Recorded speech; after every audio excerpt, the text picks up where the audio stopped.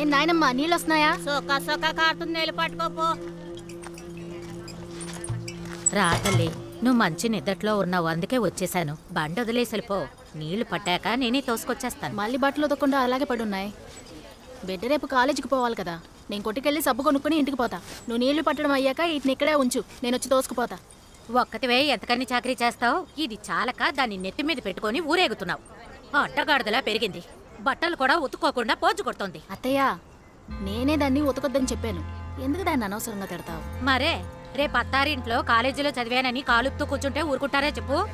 లేదా నువ్వు నీ మొగుడు వెళ్ళి అక్కడ ఊడిగం చేస్తారా? నువ్వు తప్పకుండా చూస్తావుగా. పుట్టినింట్లో మాత్రమే కాదు నా బిడ్డ తన మొగుడింట్లో కూడా మహారాణిలా ఉంటది.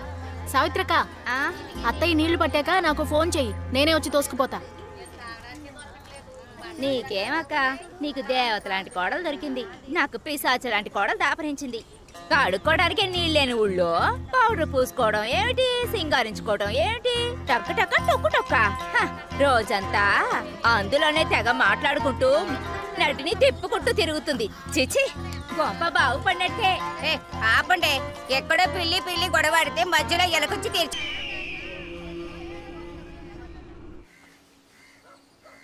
సీతాలు?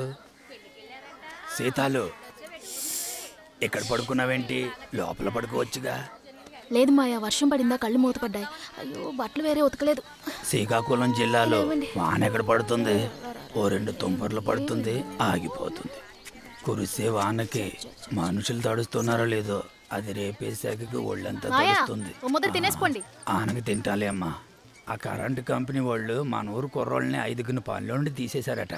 కంపెనీ మొదలెట్టే ముందు మన ఊరోళ్ళకి పని ఇచ్చినట్టు ఇచ్చి ఇప్పుడు తీసేశారమ్మా. నిజమా? ఆ, చుట్టుపక్క పల్లెలన్నీ ఒకటయ్యి పంచాయతీ పెడుతున్నారు. ఏమంటారో నేను వెళ్ళి చూసి వస్తా? ఇంకా నయం మాయా ఆయన విదేశాలకు వెళ్ళిపోయారు. ఆయన గనక ఇక్కడే ఉండుంటే కంపెనీ వాళ్ళ దగ్గర ఇరుక్కుపోయి ఆయన తెప్పలు పడుంటారో లేదో ఆయన దగ్గర ఏళ్ళు ఇరుక్కుని చచ్చిపోయి ఉంటారు. మాయా ఆ? చెవు కుట్టే ముహూర్తం కోసం గుడి పూజారితో మాట్లాడమని నాన్నతో మాట చెప్పండి మాయా. నేను చెప్తానమ్మా. పంచాయతీలో కలుస్తాను మాట్లాడతానులే. అలాగే. బాబు ఫోన్ చేస్తే వరుసకు మేనమామతో ఒకసారి ఫోన్ చేసి మాట్లాడు. అలాగే మావయ్య నేను చెప్తానులే. నేను చెప్పాను అడిగి ఎంతైనా బాబు చేస్తే బాగుంటది సరేనా? ఆయన ఆ, మాట్లాడమంటానులే సరే. సరే ఏ మళ్ళీ చూస్తే నీ సొమ్ము ఏమైనా పోతుందా? ఒకసారి చూడొచ్చుగా. మా వదిన బయటే ఉంది. వెళ్ళు. వెళ్ళమంటున్నానా నాకు వరుస కక్క అవుతుంది నేను మాట్లాడుకుంటాను. బా ఏ నాటకాలు ఆడుతున్నావే ఇప్పుడు వెళ్తాను రేపు మళ్ళీ వస్తాను. హాయ్ అన్నయ్య వస్తువులు పంపించాడా? ఇదిగో మళ్ళీ నీ అన్న నువ్వు అడిగినవన్నీ ఆ చిన్నపెట్లో పెట్టి పంపించాడు.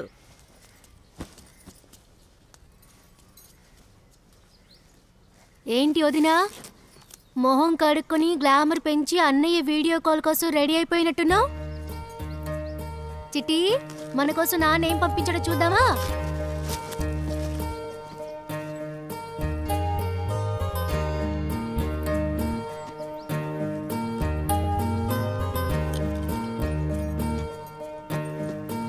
వదినా నేను అడిగింది ఎక్కడుంది వదినా? ఏం అడిగావు? సెల్ ఫోన్ అడిగాను కదా. అన్నయ్య పంపిస్తానన్నాడే. సెల్ ఫోన్ వద్దన్నాను మళ్ళీ?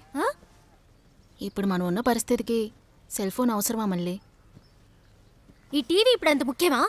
లేదా ఈ చీర అంత ముఖ్యమా? ఇలా చూడు మళ్ళీ. ఏది ముఖ్యమో ఏది ముఖ్యం కాదో ఇంట్లో ఉన్న పెద్దాళ్ళం మాకు తెలుసు. నువ్వు చదువుకునే పని మాత్రం చూడు. ఉం? ఆయన ఇన్నాళ్ళు తమరు చెప్పారని నేను చదువుకున్నానా ఏంటి? ఏదెప్పుడు చెయ్యాలో నాకు తెలుసు. ఊరికే ఎప్పుడు చూసినా క్లాస్ పీకుతుంది. చెప్పు తెగుద్ది. దాని మీద కోపడతావంటే? తోడబుట్టిన దానికంటే ఎక్కువగా చూసుకుంటోంది. దాంతో తగువుకెళ్తున్నావు ఎవరు నా మీద జాలిపడి నాకేమీ చెయ్యక్కర్లేదు. నా అన్న సంపాదిస్తున్నాడు నేను అడుగుతున్నాను. మధ్యలో ఈవిడ గారెవరు నీకు నోటు దురుసు ఎక్కువైందే. వదిని ఇలాగే మర్యాద లేకుండా మాట్లాడావో ఆ నాలుగుని కోసి పారేస్తాను. అందరూ పెళ్ళయి అత్తారింటికి వచ్చి రాగానే మొగుడిని కొంగులు ముడేసుకుని ఎప్పుడెప్పుడు వేరింటి కాపురం పెడదామా అని ఉంటారు. నేనే జన్మలో పుణ్యం చేసుకున్నానో బిడ్డ ఈ ఇంటికొచ్చి గొడ్డు చాకిరి చేస్తోంది. దాంతో పోయి రానివు నీ అన్నయ్యని. నీ సంగతేంటో తేల్చమంటాను. అత్తయ్య ఎందుకు అనవసరంగా మాటకు మాట పెంచుతున్నారు? ఏంటి? ఆవిడ గారే ఎక్కువ? ఆవిడ చెప్పేదే వేదమా? అయితే ఇక ఇంట్లో నేను ఎందుకున్నట్టు నన్ను మీరే చంపేయండి. లేదా నేనే చచ్చిపోతాను. చచ్చిపోవే. చచ్చిపో. నువ్వు ఉండి ఎవరికేం లాభం? అంతే మీరు ఊరుకుంటారా? చిన్నపిల్ల తెలియక మాట్లాడుతోందంటే మీరు సమానంగా ఏంటి? మళ్ళీ రా. చంటిదానికి చెవులు కొట్టడానికి జిమ్కీలు కొనుక్కొద్దాం. రా అమ్మా నేను ఎక్కడికి రాను. ఈ ఇంట్లో నేనంటే ఎవరికి నచ్చదు కదా. ఎవరన్నారు మాలా? ఆ? ఈ ఇంట్లో అందరికీ నువ్వంటే ప్రాణం. రా.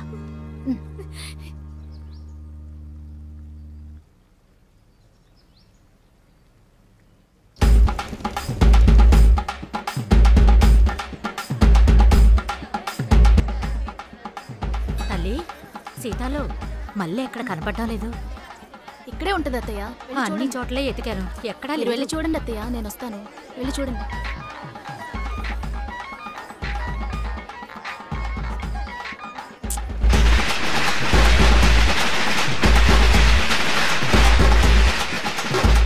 ఆ, అదిగో వాళ్ళంతా కూడా వచ్చేసారు.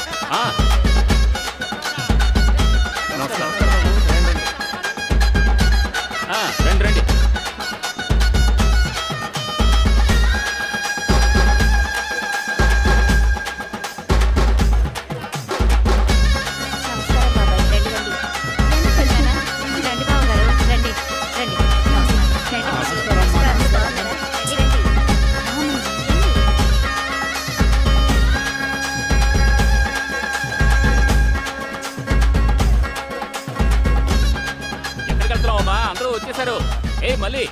ఫంక్షన్ టైం అవుతుంది కదా. చేస్తూ వినిపించుకోకుండా వెళ్ళిపోతుంది చూసా? ఏ నువ్వెక్కడికి రా? నేను మా అమ్మని తీసుకొస్తాను. సరే వచ్చేటప్పుడు మళ్ళీ తీసుకురా. అలాగే అలాగే. ఏయ్, కొబ్బరికాయరా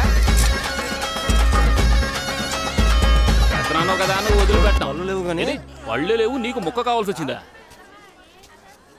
తతంగా అక్కడ జరుగుతుంటే మేనత్వం ఇక్కడ కూర్చున్నావేంటే? నేను ఒంటరిగా ఉందామని వచ్చాను. పో. అత్తే అంట అత్తయ్య. నాకు అర్థమైందిలే. ఒంటరిగా ఉన్నావు కదా తోడుగా ఉందామని వచ్చాను. నీ తోడు ఎవరికి అక్కర్లేదు. వెళ్తావా ఇక్కడ నుంచి? వెళ్తానులే. వెళ్ళమండం తప్ప నీకు ఇంకేం తెలుసు?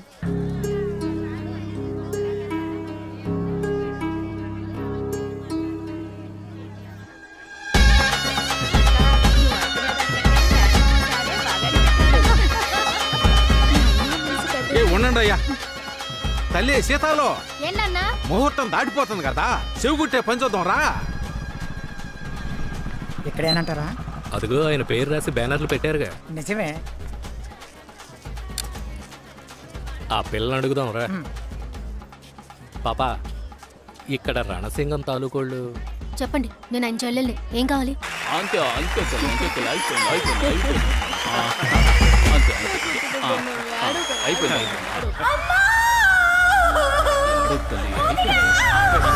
మెల్లిగా మెల్లిగా. జాగ్రత్త.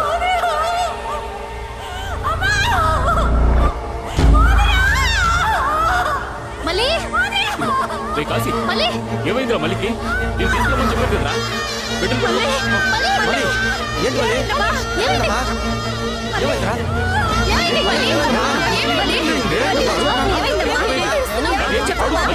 చెప్పు. అన్నాను నిన్ను అడిగేది. చెప్పురా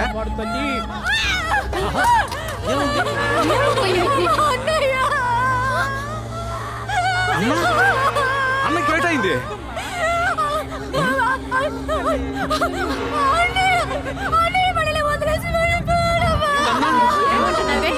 అంటున్నావు అంటున్నావు అన్నయ్య అన్నయ్య వాడికి ద్రోహం చేసి వెళ్ళిపోయారమ్మా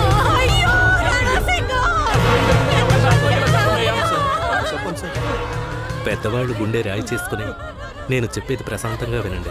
మన రణసింగం దుబాయ్కి పనులకు వెళ్ళాడు కదా. వెళ్ళిన చోట ఆ ప్రభుత్వాన్ని ఎదిరించి పోరాటం చేశాడు. పోరాటాన్ని అదుపు చేయడానికి వచ్చిన పోలీసులకి వీళ్ళకి కొట్లాటయ్యి కాల్పుల వరకు వెళ్ళి మన రణసింగంతో పాటు పద్నాలుగు మంది చనిపోయారండి.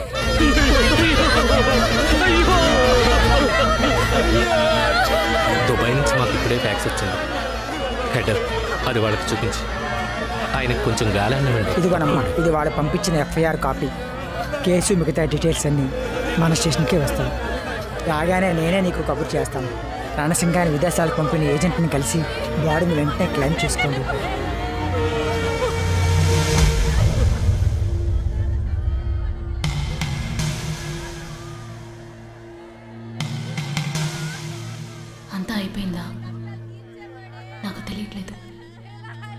నా చుట్టూ ఉన్న వాళ్ళకి తెలియట్లేదు.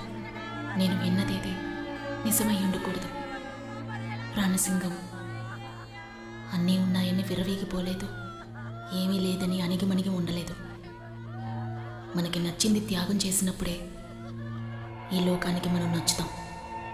నా బావ రణసింగం అంటే నచ్చని వారు లేరు.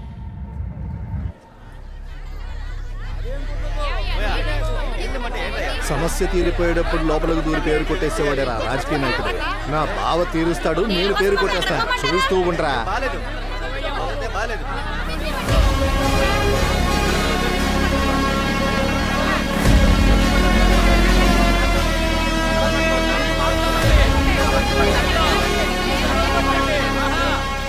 ప్రశాంతంగా ఉండండి.